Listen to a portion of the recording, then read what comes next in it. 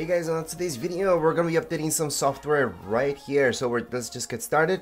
We're gonna go on the top left hand side of your screen and you're gonna see the Apple logo. On that Apple logo, click on it. Then you're gonna see the App Store, your third option. Just go into the App Store.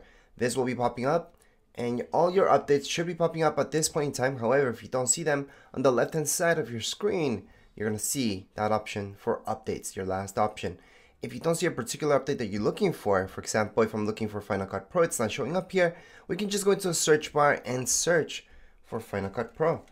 From here, you should be seeing something like so, where it tells you to update it. So we can go ahead and press on update.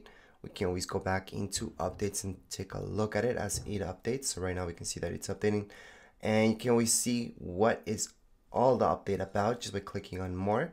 It's going to tell you exactly how big this one is. So this one's about 5 gigs. If you take a look at GarageBand, we can also take a look at there. It's less than a gig. Compressor should be less than a gig, I think.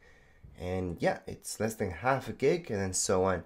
To update everything all at once, we can go on and press update all on the top right hand side corner of our screen. And then from here, we just have to wait until everything is up to date.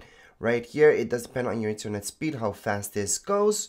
However, again, if you guys want this to go a little bit faster, for some of you, having that ethernet cable hooked up directly to your router will speed things up. Alright, so after a few minutes, you should see that everything says updated or just open.